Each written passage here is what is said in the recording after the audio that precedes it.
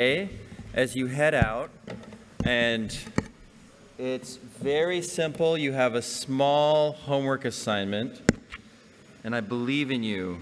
I believe in you. You can do it. So um, just want to say thank you for coming to ArgoCon. I think this is the fourth one we've done.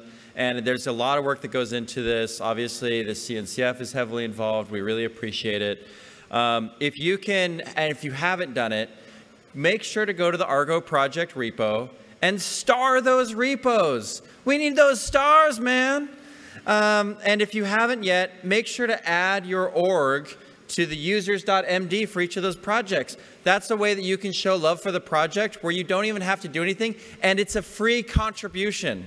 And if people ask you, are you a contributor to Argo? You can say, yeah, check out my GitHub.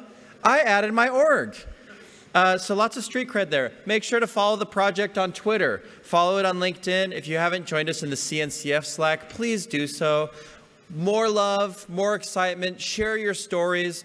And pay attention because ArgoCon Salt Lake City is coming up. So start thinking of the talks that you want to do. And tomorrow, go to the Argo Project booth and give a high five to a maintainer. Thank you, everybody. Good night.